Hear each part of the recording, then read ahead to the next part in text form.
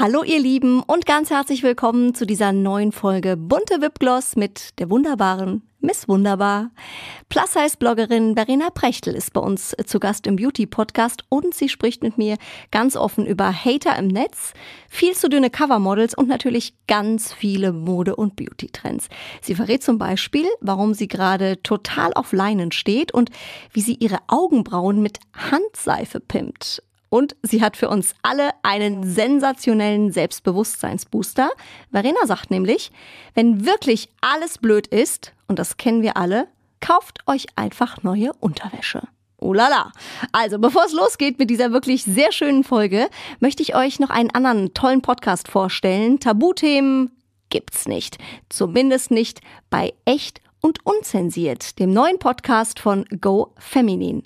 Ob Sexualität, Kindheitstrauma, alternative Beziehungsmodelle oder Essstörungen, in jeder Folge behandelt Moderator Tino ein neues, spannendes Thema und lädt dazu Expertinnen und Experten oder Betroffene ein. Unter anderem spricht er in Folge 2 zum Beispiel mit Sophia Thiel über ihre lange Auszeit, ihren Kampf mit Bulimia nervosa und ihren Weg zur Besserung. Teilweise unterhaltsam, teilweise echt bewegend, aber immer interessant und informativ. Echt und unzensiert gibt es bei Spotify, Apple Podcasts oder überall da, wo ihr Podcasts hört. Immer freitags im Zwei-Wochen-Rhythmus geht eine neue Folge live. Den Link zum Podcast habe ich euch einfach mal in die Shownotes reingepackt. Schaut gerne mal vorbei. Ich kann euch den Podcast der Kollegen wirklich ans Herz legen. Und jetzt ganz viel Spaß mit der wunderbaren Miss Wunderbar Verena Prechtl. Zuhören macht schön. Stars lüften ihre ganz persönlichen Beauty-Geheimnisse. Bunte Wipgloss, der Beauty-Podcast mit Jennifer Knäble. Herzlich willkommen, Verena Prechtl. Hallo, liebe Jennifer. Vielen lieben Dank, dass ich hier sein darf. Sehr, sehr gerne. Du kannst auch Jenny zu mir sagen, weil Jenny? Jennifer hat immer nur meine Mutter gesagt, wenn ich was angestellt habe. Oh Gott, das will ich natürlich nicht. Also Jenny. Aber ich kenne das, diese Strenge immer so. Hör auf. Genau. Ich wusste immer, wenn sie, Jennifer, komm mal hierher. Da wusste ich genau, oh, da kommt nichts Gutes bei raus. Okay, also ich entschuldige mich, Jenny. Nein, alles gut. Äh, Verena, hast du einen Spitznamen auch? Äh, nur von meinen Freunden. Die nennen mich tatsächlich Fetz. Wie es dazu zustande kam, keine Ahnung, aber sonst gibt's. Let's Fetz. Ja, genau. Okay, du bist ja so der rockige Typ einfach. Ja, ich, wie gesagt, ich bin wild. Sehr schön. Young at heart oder wild at heart heißt doch so schön. Absolut. Und du hast ja einen äh, sehr schönen Namen, keinen Spitznamen, aber auf Instagram findet man dich unter Miss Wunderbar. Das finde ich ja sehr schön. Das macht doch gleich gute Laune. Wie, wie kam es dazu? Ähm, tatsächlich in der Anfangszeit habe ich ein Pseudonym gesucht für Facebook, dass man meinen Nachnamen nicht findet. Also das war natürlich, du kommst aus der Uni und dann hat es gedacht, so Bewerbungen und können ja alles gleich hier googeln und sehen, wer du bist. Und ich dachte mir, nee, ich wollte das nicht und habe mich einfach wunderbar genannt, weil ich finde, wunderbar ist einfach wunderbar. Voll. Und äh, so kam es dann zu meinem Instagram-Namen und ich habe den bisher nie geändert, weil, ja, also ich, ich finde, es ist einfach so ein äh, USP, so ein Unique Selling Point auch irgendwie. Absolut. Und mal was anderes als nur Vor- und Nachname. Wir hatten neulich, haben wir uns mit Freunden äh, zum Spazierengehen verabredet und da waren die Kids mit dabei und die eine Tochter die ist so 19 und die sagte dann, wie heißt ihr denn auf Instagram? Hat sie uns gefragt und ich so, ja, Jennifer Kneble. Also guckt sie mich an. Ja, wie? Nur mit deinem Namen oder was? Ich sag ja. Boah, bist du langweilig. Also ich sag mal so, bei der Young Generation so gesehen bist du ganz weit vorne, wenn du nicht deinen normalen Namen nur als Instagram-Profil hast. Ja, ich wollte ihn schon die ganze Zeit mal ändern, weil ich weiß es nicht. Also man möchte natürlich dann auch ein bisschen erwachsen werden. Aber mal sehen. Vielleicht ändere ich ihn auch irgendwann mal und bin dann auch einfach Verena Prechtel. Ja, du, wer weiß. Also ich meine, die Leute werden es merken, es bleibt ja der gleiche Account, ja. Im Zweifel sieht man einen anderen Namen. Aber sie folgen dir ja, weil du eine schöne Message hast, über die wir jetzt auch mal sprechen wollen. Und zwar sagst du ja eine sehr schöne Sache zu jedem. Dein Körper ist so, wie er ist, wunderbar. Ähm, das finde ich sehr, sehr schön. Traurig ist, dass man es überhaupt sagen muss. Wie bist du dazu gekommen, diese schöne Message zu verbreiten? Also wo war der Punkt, wo du gesagt hast, das muss man mal aussprechen? Also alles hat angefangen vor fast neun Jahren mit meiner besten Freundin. Also wir haben unsere Fotos natürlich, die unsere OOTDs, das Outfit of the Day, auf Instagram gezeigt und dann kam mir irgendwann die Idee, mh, wie es wäre doch eigentlich schön, Mode auf einer Plattform zu vereinen von zwei Frauen, die eine unterschiedliche Kleidergröße tragen. Weshalb ich meine beste Freundin Sophia ähm, gefragt habe, komm, lass uns doch den Blog gründen, The Skinny and the Curvy One. Ich hatte diesen Namen schon die ganze Zeit im Kopf und das haben wir dann auch gemacht. Musst du einmal die Größen sagen, wie waren die dann? Ähm, sie trägt eine Größe XS mhm. und also XSS und ich eine Größe XL, also mhm. 48, 50. Mhm. Wir wollten halt zeigen, dass es viel mehr gibt als schwarz und weiß. Und du hast halt natürlich so viel dazwischen und jede Frau ist einfach schön, wie sie ist und auch jeder Körper ist schön in seiner ganz eigenen Art und Weise. Und nur weil man eben dick ist, sage ich jetzt mal, bist du nicht weniger wert. Und ich glaube, das vergessen wirklich ganz, ganz viele Leute. Und in der heutigen Gesellschaft ist es wirklich nicht einfach, auch als dicke Frau zu leben.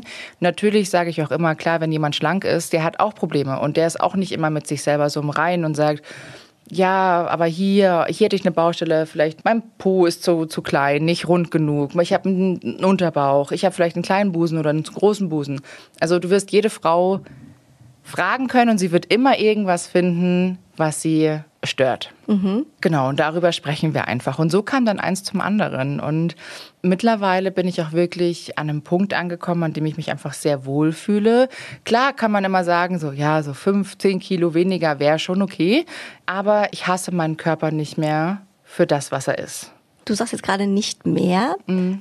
War das auch mal anders demnach? Also meine erste Diät habe ich gemacht mit 10 weil aus meiner Familie wow. auch kam, gib dem Kind mal ein bisschen mehr Joghurt zu essen. Ich meine, ich bin 1,84 Meter groß und ich war schon immer ein bisschen kräftiger gebaut, aber ich war nie dick. Und das, das haben dann, die dann auch so vor dir gesagt? Ja, ja, klar. Mhm. Also von mir. Und dann war natürlich die Brigitte-Diät zum Beispiel super schick. Ne? Und meine Mutter und meine Mama kommt generell aus einer das ist eine Generation, da war es schick, wenn man Diäten gemacht hat. Und zwar immer. Immer, ja. pausenlos. Da kam dann die Kohlsuppendiät und die Diät und die Diät. Somit, sprich, ich war eigentlich ab meinem 10., 11. Lebensjahr immer auf Diät. Immer. Hab dann wieder abgenommen, hab dann wieder zugenommen, abgenommen, zugenommen, abgenommen, zugenommen. Und es war wirklich, ich habe eigentlich wie eine Erstörung entwickelt. Muss man natürlich ganz ehrlich sagen. Und ich glaube, mit 22 war dann der Punkt, wo ich auch zu meinen Eltern gesagt habe, so jetzt ist Schluss wir reden nicht mehr über mein Gewicht, wir reden nicht mehr über meinen Körper, ich möchte nicht mehr, ansonsten komme ich nicht mehr nach Hause. Und also das, eine richtige Ansage. Mal richtige gemacht. Ansage und das war mein Turning Point. Mhm. Und ich glaube, da haben sie es wirklich verstanden, dass ich es einfach auch nicht mehr schaffe und verkrafte, jedes Mal wieder ähm, über mein Gewicht zu sprechen. Denn letztendlich, wenn man so sieht, es dreht sich ja mein kompletter Alltag, mein komplettes Leben dreht sich immer nur um meine Figur, aber nicht um meine Person. Absolut. Und das ist eigentlich ein bisschen traurig, wenn man sagt. Und wie haben die das aufgefasst, als du mal gesagt hast, du jetzt reicht's? Die haben geweint. Oh. Ja, das ist natürlich, es mhm. ist halt schmerzhaft. Also das ist der ganze Prozess, also den hat's leid getan, weil ich dann mal wirklich, ich habe mein Herz ausgeschüttet und ich sagte, hört mal auf, ihr macht mich da komplett fertig und ihr baut einen Druck auf mir auf, den ich gar nicht mehr, ja, da bin ich gar nicht mehr standhaft für. Und da haben sie es tatsächlich dann gemerkt und waren erstmal sehr, sehr niedergeschlagen und haben sich bei mir entschuldigt und Natürlich kommt das eine oder andere Mal halt immer, sie machen sich Sorgen um meine Gesundheit. Das kann ich auch verstehen, das sind meine Eltern. Aber ich muss auch sagen, selbst wenn ich eine schlanke Frau wäre, müsste man sich auch um meine Gesundheit gefühlt irgendwie auch ein bisschen sorgen, aber da wird es wahrscheinlich nicht so präsent sein. Weißt du, mhm. was ich mhm. meine? Absolut. Ich glaube auch, dass es jetzt in dem Fall auch zum Beispiel von deinen Eltern mhm gar nicht böse gemeint war, wie du ja auch an der mhm. Reaktion mhm. siehst, dass sie geweint haben. Wahrscheinlich ist ihnen da zum ersten Mal klar geworden, was sie da eigentlich über die Jahre in Anführungszeichen angerichtet haben. Ja, ich meine, man sagt ja immer, Eltern wollen nur das Beste. Ne? Aus deren Sicht dann eben, ah ja, ist mal mehr Joghurt. Aber was eigentlich bei dir im Kopf passiert ist über all die Jahre, dass man sich ständig eigentlich nur über sein, um sein Gewicht dreht. Mhm. Ähm, ich glaube, das war vielleicht erst in so einem Moment überhaupt bei denen im Kopf angekommen. Ja, ja glaube ich auch. Also ich, meine, ich liebe meine Eltern über alles. Ja. Ne? Also ich weiß auch, dass die nur mein Bestes möchten. Klar, wer will das nicht für sein Kind? Ich will ja auch nur das Beste für meine Eltern oder für meinen Partner. Aber ich kann sie nicht übel nehmen, weil die ja selber so gesteuert waren durch die Medien. Da war ja, ich meine, schau dir die 2000er an, schau dir Britney Spears an. Britney Spears hat fünf Kilo zugenommen und wurde von jeglichen Magazinen als fett betitelt. Das ist Wahnsinn, ne? Und das ist Wahnsinn. Hier dann, dann die ganzen natürlich wir lieben sie alle, die ganzen Clueless und die richtig coolen. American Tratsch Teenie Filme. Da ging es ja immer nur darum und natürlich auch unsere Magazine. Da ging es ja immer, wie nimmst du ab, wie nimmst du ab und es hat sich ja alles nur ums Abnehmen gedreht. Wenn du das den ganzen Tag liest und auch hörst in der Gesellschaft, im Fernsehen, in den Zeitschriften, überall, du wirst ja so manipuliert dadurch. Also ich kann es ihnen ja nicht verübeln. Da Aber es stimmt, wenn man mal drauf achtet, ne? Mhm. in, in Zeitungen, gerade so jetzt im Sommer, äh, gibt's natürlich nur, wie kann man hier abnehmen und da äh, die Zellulite Wunderkur und hier das und jenes. Mhm. Und äh, klar, wenn man, sag ich mal, eh nicht so mit sich im Reinen ist und das noch den ganzen Tag irgendwie so vor die Nase gehalten Mhm. ähm, bekommt, ist das ja schon ein schwieriges Thema. Ich finde trotzdem, ich weiß nicht, wie du es siehst, Verena, es hat sich ja schon ein bisschen was jetzt auch getan. Also so im Netz merkt man schon, da ist ein Umdenken. Stichwort Body Positivity, das ist immer ein bisschen so ein Trendwort, aber am Ende, wir nehmen es mal jetzt, wie es ist.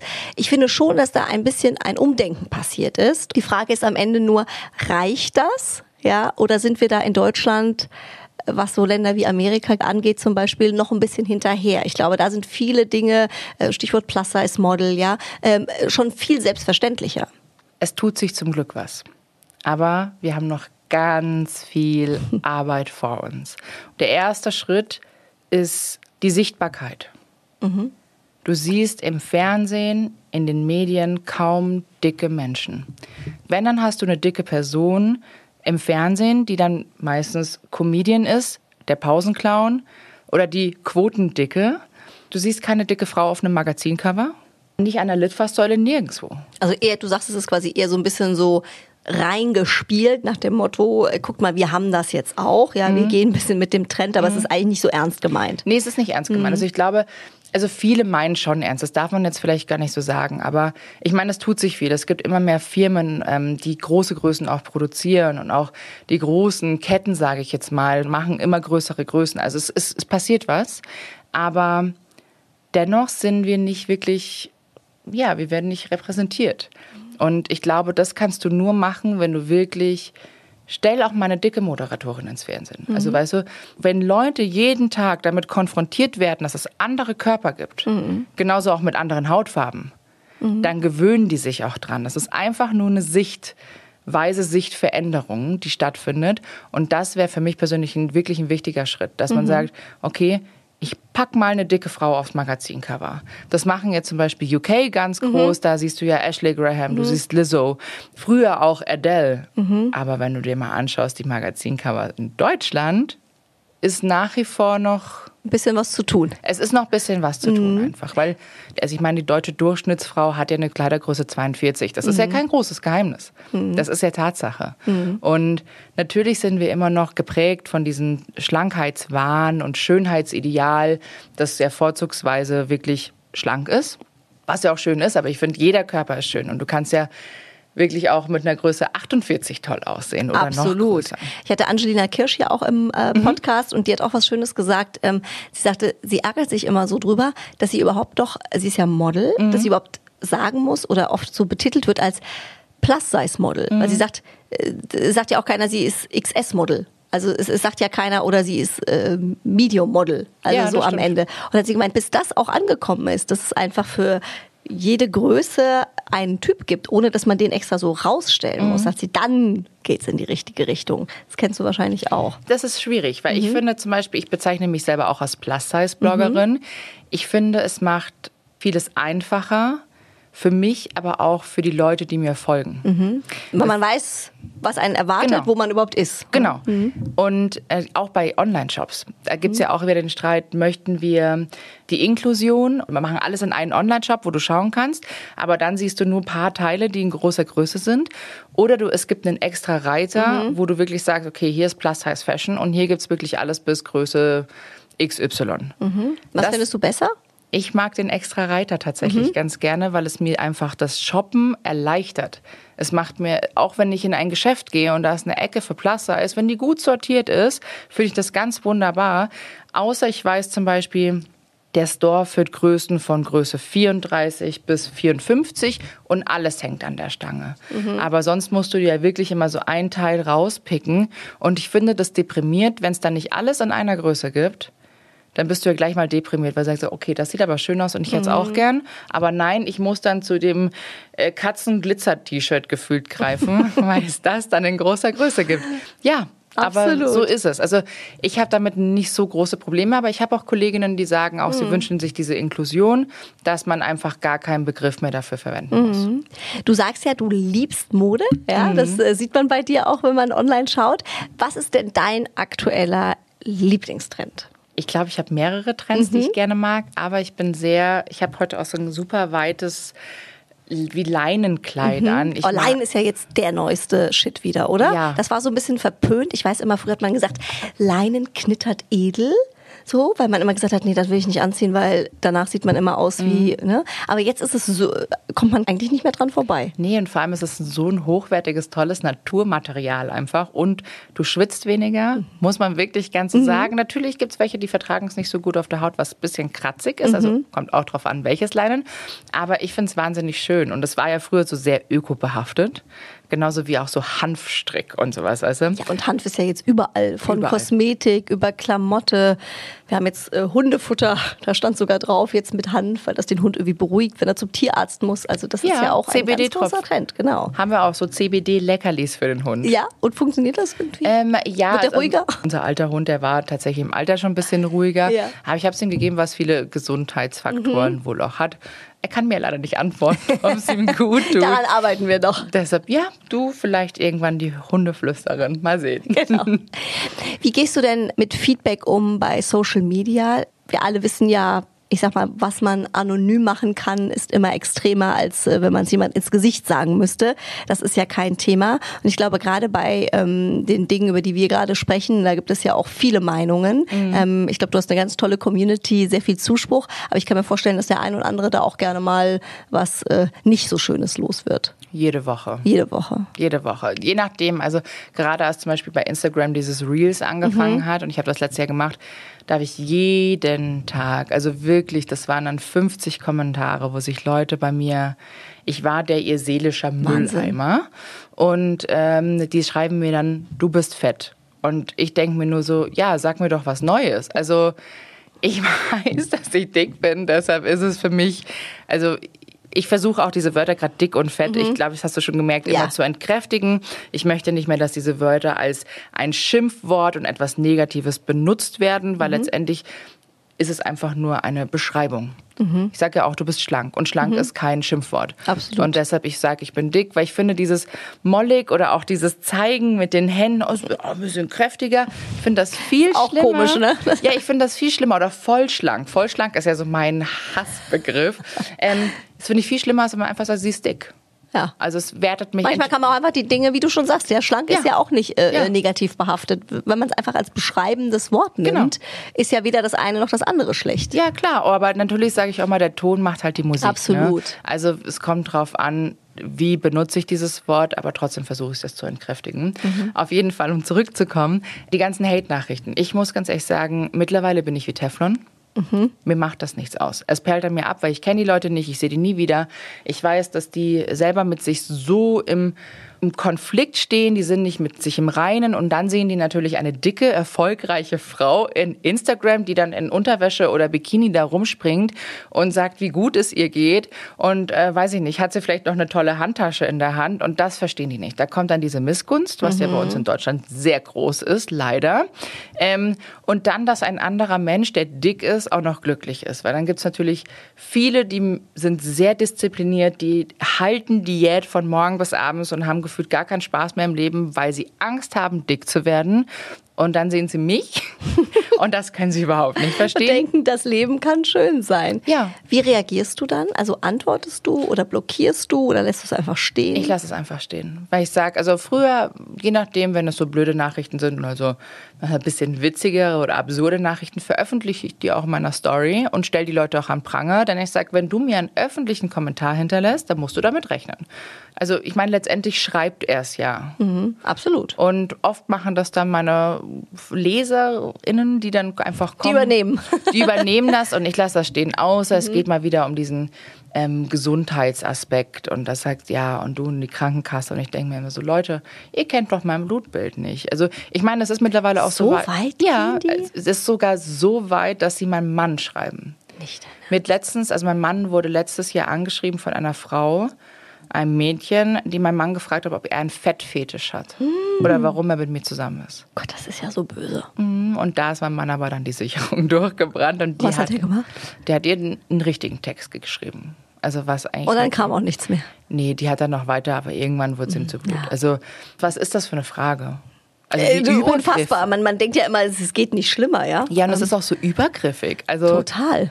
Ich frage doch nicht jemanden, hast du einen Fetisch diesbezüglich, nur weil man mit einer dicken Person zusammen ist. Also nee. Er steht ja nicht in der Öffentlichkeit in dem Sinne, so wie du. Wie geht er damit um? Nimmt ihn das dann doch schon auch mit, sowas? Nein, der ist so genau Der ist cool. Und er sagt immer so, Schatzi, ey, da sind so viele Neider und äh, die sind dann einfach auch so unzufrieden mit sich selbst. Deshalb, Verena, mach dir da gar keinen Stress. Alles ist in Ordnung. Er steht hinter mir, er liebt mich, wie ich bin. Ich meine, wir sind seit 14 Jahren zusammen. Absolut. Und ich glaube, es gibt nichts Schöneres, als wirklich einen Mann an seiner Seite zu haben, der einen bedingungslos liebt und einfach für einen da ist und einfach, du merkst, das ist mein Anker. Und ich glaube, das ist mit das Schönste einfach. Wenn man jetzt sehen würde, wie du strahlst, weiß man genau, wie happy ihr seid. Und das ist ja am Ende des Tages die Hauptsache. Ähm, du hast einen sehr erfolgreichen äh, Blog, also auch gekoppelt natürlich mit Instagram. Was möchtest du äh, damit erreichen? Ich möchte, dass du dich gut fühlst. Ich möchte, wenn du auf mein Profil kommst, Wunderbar dass fühlst. du, ja, dass du dich wirklich wunderbar fühlst, dass es dir gut geht. Ich möchte dir überhaupt keine schlechten, negativen Energien geben. Ich möchte einfach, dass du dich angekommen fühlst und ich möchte dir auch ein gutes Gefühl vermitteln. Dass du einfach schön bist, so wie du bist, dass du okay bist, so wie du bist. Und wenn du Tage hast, an denen du dich nicht wohlfühlst, dann ist das auch in Ordnung. Ich möchte dir einfach so einen richtigen Safe Space bieten, um dich einfach selber zu lieben. Also schöner kann man es nicht sagen. Ja, das äh, nehmen wir alle mal so mit, so um. ähm, wir sind ja hier beim Beauty-Podcast. Verena geht es natürlich auch immer um die Frage Beauty. Überschlag mal im Bad. Wie viele Beauty-Produkte hast du da, die du täglich anwendest? Ist da weniger mehr oder bist du so ein richtiger Beauty-Freak? Freak. Freak. Das kam Freak. sehr schnell. Freak. Ähm, tägliche Anwendung habe ich. Das fängt ja natürlich von Serien, Sonnenschutz, Reinigung, alles Ja. Mögliche an. Also ich glaube, ich bin vielleicht am T- Wir fangen mal an. Was machst du morgens? morgens erstmal reinigen. Reinigen. Gesichtsreinigung. Dann habe ich ein Serum. Serum. Dann äh, kommt eine Feuchtigkeitspflege. Dann kommt mein Sonnenschutz. Vier, Genau, das ist Augencreme? Ja, Augencreme. fünf. Auch. Nimmst du so Roller oder sowas?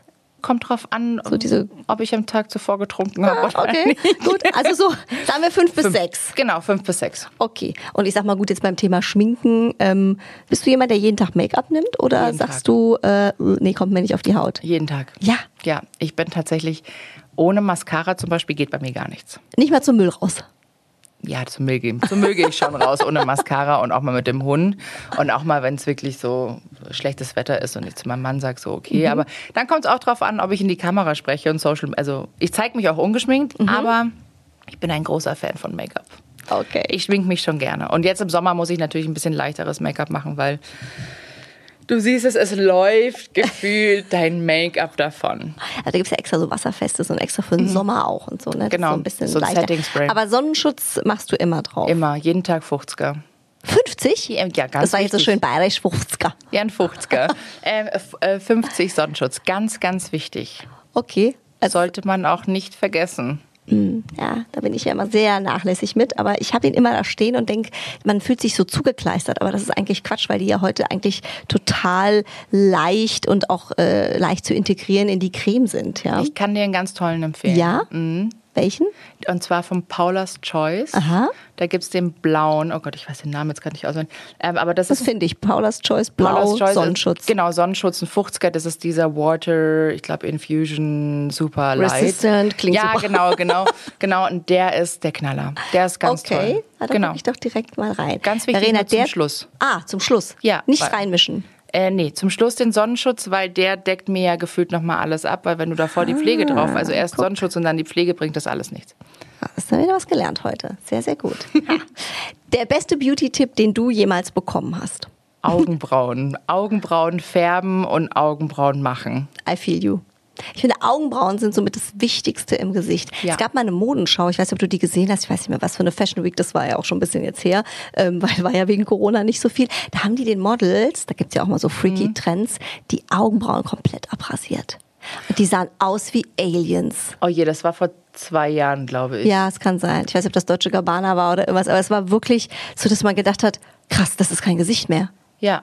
Also komplett abrasiert. Aber Weiß daran ganz- sieht man, wie Ja. wichtig Augenbrauen am Ja, Ende sind. oder wenn ja? die gefärbt werden, ganz vielen so für blond. Also ich meine, klar, das kann natürlich für einen Look und für ein gutes Shooting kann es schon stark aussehen.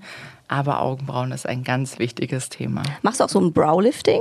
Ähm, habe ich gemacht, aber ich sehe danach immer aus wie Theo Weigel, weshalb ich es Das nicht habe ich schon mehr oft gehört. mache. Das musst du vielleicht unseren äh, Zuhörerinnen und Zuhörern mal erzählen. Äh, Browlifting, das ist ja ähm, das ist so wie so eine Keratinbehandlung. Ne? Dann kriegt man die, äh, das wird tatsächlich mit so einem Dauerwelle-Mittel Mhm. gemacht, dass die auch so bleiben, die Härchen, wie man sie formt. Und dann werden die so quasi nach oben gebürstet. Und wenn man es zu doll macht, genau, wie du gerade gesagt hast, kann das so ein bisschen zerstreuter Professormäßig aussehen. Ne? Ja, wie gesagt, ich bin Theo Weigel in der Hinsicht.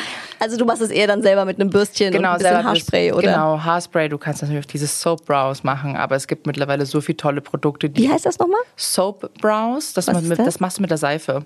Da gehst du quasi mit einem Bürstchen Mit einer normalen Seife? Ja, Handseife. Aber im Block. Aha. Genau. Und da dann- das Bürstchen rein? Ja, genau. Und dann einfach nach oben kämmen. Also man, man cremt sich die Seife in die Augenbrauen und genau. das hält dann. Ja, hält. Ein toller Tipp zum Thema Augenbrauen, vor allem gerade jetzt im Sommer, wo man ja jetzt nicht so viel im Gesicht hat, wenn dann die Augenbrauen und die Mascara stimmt. Ich finde, dann ist das ist schon die halbe Miete. Das stimmt. Gibt es für dich ein Idealbild von Schönheit? Nein, Schönheit kommt für mich tatsächlich von innen. Es klingt immer kitschig, aber es ist mir komplett egal, wie jemand aussieht. Für mich ist das Wichtigste die Aura. Ich muss die Person sehen und es muss quasi einmal einen Funken übersprühen. Das ist für mich so wichtig. Ich, ich merke vom ersten Augenblick, ist mir die Person sympathisch oder unsympathisch. Deshalb, äh, nein, wahre Schönheit kommt von innen. Sagst du, das ist wirklich so ein Ding, man sieht Ja. jemand, ja oder nein? Das Ja. entscheidet sich schon in den ersten Sekunden. Ja, vielleicht bin ich aber auch zu sehr Skorpion in der Hinsicht, dass ich von Anfang an weiß, okay, das ist mein Typ Mensch oder nicht. Ich glaube da aber auch schon dran. Ein Freund von mir sagt immer die äh, Blitzsympathie. Ich lebe die Blitzsympathie. Ja. Aber es ist am Ende genau das, ja. Also ich glaube auch, entweder springt der Funke über oder nicht. Und meine, man kann auch mal nochmal nacharbeiten, aber wie gesagt, wenn es direkt bumst, sage ich immer, das ist wie in einer Beziehung. Ja. Ja, also das gibt's ja auch. Entweder finde ich den Typen toll oder nicht. Ganz selten kommt dann noch mal so, ach, eigentlich war der doch ganz cool. Ja, Ja, so ein Schau. Aber am Anfang auch so dieses Schau mal mal. Also es Ja. muss ja nicht von Anfang an dieser Blitzknall kommen. Der war bei meinem Mann auch am Anfang nicht da. Sorry, Hase, falls du das hier hörst. Aber, aber bei uns beiden nicht. Also wir kannten uns und wir fanden uns toll und gut aussehend und auch nett.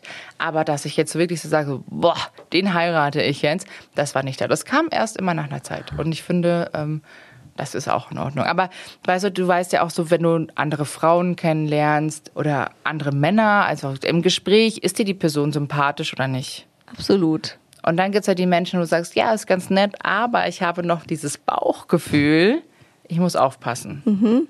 Also ich finde, bei sowas kann Also man du hörst immer auch auf dein Bauchgefühl. immer, immer. Es ist, glaube ich, am Ende, man hört das so oft, der beste Berater. Absolut. Wenn man schon merkt, irgendwas ist komisch, dann sollte man es lassen. Mhm. Das stimmt. habe ich mittlerweile auch gelernt. Nach so ein paar Jahren. Ich habe gelesen, Verena, du hast ein sehr cooles Hobby. Du äh, handelst mit Kunst Ja. und Bildern und Ja. allem. Ja. Erzähl mal, wie kam das denn? Also mein Vater ist Kunst- und Antiquitätenhändler und somit habe ich meinen Vater auch unterstützt und ich hatte auch schon mein eigenes Geschäft hier in München, das musste ich aber leider aufgeben und aktuell bin ich natürlich sehr eingespannt durch meinen Job, aber Influencerin sozusagen, ich finde das Wort ist immer so negativ behaftet leider. Ist leider irgendwann so geworden, Ähm, ja. ja, deshalb ich dennoch gerne Bloggerin oder Ja. wie auch. Miss Wunderbar einfach. Ja, Miss Wunderbar. Aber ich bin nach wie vor im Kunsthandel auch noch von meinem Papa tätig und unterstütze ihn und wir fahren auf Messen und wir gehen gemeinsam einkaufen und reisen und ja, machen Einkaufsreisen. Das ist immer sehr schön. Oh, wie toll. Das heißt, äh, also bei euch zu Hause findet man auch so ein paar Schätze. Ja, bin auch so eine Treasure Hunt. Also ich liebe Flohmärkte. Ich bin so froh, wenn die endlich wieder aufmachen. Äh, Und ich habe da schon die tollsten Sachen gefunden. Also auch wirklich auch so Vintage Design, alte Sachen von Dior und äh, Also ja. auch ähm, ähm, jetzt an, an, an, an Gegenständen Auch oder an also so Gegenständen. Geschirr oder sowas oder als äh, Klamotte? Beides. Beides. Beides. Dadurch, dass wir im Kunsthandel sind und ich Mhm. so das Ganze ein bisschen moderner mache und lockerer, kaufe ich auch oft Modeschmuck ein, Mhm. Designer-Modeschmuck oder auch äh, Handtaschen und äh, verkaufe ihn dann noch weiter. Toll. Das heißt, wo findet man das, wenn man jetzt sagen würde, da will ich mal stöbern? Bei deinem Papa. Ja, in Rottach-Egern am Tegernsee. Ah, Genau, okay. in der Seestraße. Den, den kenne ich sogar. Das ist ein ganz süßes Örtchen da. ja, In der Seestraße, mitten direkt, ist neben dem Hotel Bachmeier ein wunderschöner Antiquitätenladen. Ach da bin ich schon vorbeigelaufen ja. an dem Hotel. Da muss ich das nächste Mal die Augen nochmal ja, mal aufmachen. Unbedingt. Sehr, sehr gut. Du bist ja Podcast-Profi, deswegen ist es äh, so schön mit dir zu äh, plauschen. Ja, da ist äh, jemand vom Fach. Du hast mit deiner Freundin einen äh, Podcast, der heißt Fett und Vorurteil. Da geht es äh, vor allem um Selbstliebe. Wie wichtig ist es für dich, diesen Podcast zu haben und da die Stimme äh, auch zu erheben? Sehr wichtig. Also ähm, der Podcast ist schon ziemlich wild, weil wir schimpfen schon auch viel und sind halt sehr offen und ehrlich. Klar, also wir, wir rechnen auch so mit gewissen Dingen einfach ab. Aber es Zum Beispiel, also was? Also es geht halt natürlich ganz viel um das, um Aufklärung unter anderem, gerade um das Wort Fett, ähm, dass wir halt einfach so enttabuisieren. Es geht um äh, Männer, die natürlich, also ich viele Erfahrungen gemacht haben, dass es Männer gab in meinem Leben, die nie zu, zu mir stehen konnten. Mhm. Es ist sehr persönlich und emotional teilweise auch. Wir reden über das Thema Dating. Wir reden darum, dass gerade auch dicke Frauen oft mit einem Fetisch in Verbindung gebracht werden. Ui. Das merkt man manchmal dann erst so ja. mittendrin. Ja, du merkst es dann, dann gibt es wirklich so Männer, aber da merkst du es auch schon von so, oh, okay. I, I like you, BBW, wie Big Beautiful Woman. Okay, das, da sollten so, die Alarmglocken angehen. Ja, wenn du das hörst, ciao. Sag einfach auf Wiedersehen und geh. Und deshalb, ähm, ja, ist sehr wichtig. Und jetzt sind wir gerade bei der Produktion von der zweiten Staffel. Mhm. Wir werden allerdings den Namen ändern. Mhm. Habt und, ihr schon einen? Darfst du ja, den schon verraten? Ja, darf ich. Und zwar das Respect My Size. Mhm. Wir hatten ja letztes Jahr eine riesengroße Kampagne ins Leben gerufen, Respect My Size, und haben Vorurteile gegenüber mehrgewichtigen Menschen sichtbar gemacht mhm. und darüber gesprochen und das ging sehr viral. Gott sei Dank. Konnten Schön. ein bisschen Bewusstsein schaffen. Absolut. Ja, am Ende ist es genau wie du gesagt hast. Ne? Man muss auch ähm, andere Typen sehen, um mhm. sich in Anführungszeichen dran zu gewöhnen. Das ist schon schlimm, dass man sagen muss. Aber mhm. genauso ist es da ja auch. Man muss es manchmal einfach hören, ja. um zu sagen, ach stimmt, da gibt es ja so ein Thema, äh, muss man sich mal mit beschäftigen. Ja, ja weil ansonsten rast es, glaube ich, einfach auch an Leuten vorbei. Ja, ja aber die Ende. Welt ist ja bunt letztendlich. Wenn du rausgehst aus der Haustür Du siehst ja komplett eine Vielfalt an verschiedenen Menschen. Absolut. Deshalb ist es so wichtig, die auch wirklich in den Medien, in den sozialen Medien, überall einfach auch zu repräsentieren. Also ich finde, du gehst ganz wundervoll äh, mit diesem Thema um. Du bist bei dir, du strahlst. Vielleicht dein Tipp an alle, die jetzt zuhören, die nicht so mit sich im Reinen sind. Also wie gehe ich das an? Was ist der erste Schritt, sich selbst lieben zu können? Eine Anleitung habe ich nicht, aber der erste Schritt ist immer mit Selbstbewusstsein, sich selbst bewusst zu sein in seinem Handeln. Das kann sehr schmerzvoll sein, aber nehmt euch wirklich mal die Zeit, einen Tag, tut das Handy weg und beschäftigt euch nur mit euch selbst. Das ist schon mal wirklich eine sehr große Herausforderung. Des Weiteren ist es, hör auf, auf die Kommentare oder äh, auf Ratschläge anderer zu hören mach einfach dein Ding. Wenn dir die Person XY sagt, du sollst keine kurzen Röcke anziehen, trag einen kurzen Rock. Wenn du dich drin wohlfühlst, mach es. Man muss wirklich sich davon abgrenzen, weil das macht einen sonst nur fertig. Also das sind so wirklich die wichtigsten Punkte. Und was ich auch immer gerne mache, wenn ich mal so einen Selbstbewusstseinsboost brauche, ich kaufe schöne Unterwäsche. Ah. Ja. Und da freuen sich ja auch noch im Zweifel ja, der eine oder andere Herr Hause. Ist, ich weiß nicht, das Vielleicht wirst du das auch mal probieren, wenn ja. du sagen, Tag hast, oh, heute fühle ich mich wohl. Also ich habe es noch nicht gemacht. Also mein Mann wird sich jetzt freuen wahrscheinlich, wenn er zuhört. Aber äh, dann zieh wirklich mal echt tolle Unterwäsche an, stell dich vor den Spiegel und schau dich an. Das ist das wirklich, das hilft. Ach, guck. Ja, das ist super. Also ich sag mal so, Thema Shoppen können wir Frauen ja sehr gut, gerade auch wenn man so sagt, ich muss jetzt mal. Aber ich habe dann eher, sag ich mal, weiß ich nicht, irgendwelche Kleidchen oder sowas gekauft. Ich werde das nächste Mal an dich denken, wenn mal vielleicht ein kleines Tief da ist, mhm. werde ich mal umschwenken. Ich sage auch immer, ich fühle mich am wohlsten im Bikini oder in Unterwäsche. Mhm. Ich kann nichts verhüllen. Ich kann nichts verbergen und man sieht meinen Körper so, wie er ist. Und sich in toller Unterwäsche selber anzuschauen und zu sagen, hey, schau einfach mal, wie gut du aussiehst, ohne dass du vielleicht ein Röllchen hast oder der Busen eine Nummer größer sein könnte, ist so viel mehr wert. Also wirklich sich selbst bewusst zu werden über sich und seine Person ist für mich das auch nur. Also es ist wirklich wichtig. Genauso beschwingt äh, sage ich vielen Dank, dass du mein Gast warst heute. Es war ganz, ganz toll. Gehe sehr positiv in den Tag jetzt. Ich wünsche dir alles Gute für die zweite Staffel, äh, für deinen tollen Podcast danke. und äh, bleib so wunderbar. Danke, vielen lieben Dank, dass ich hier sein durfte. Sehr gerne. Bunte Wipgloss, der Beauty Podcast mit Jennifer Knäble. Ein bunte Original Podcast.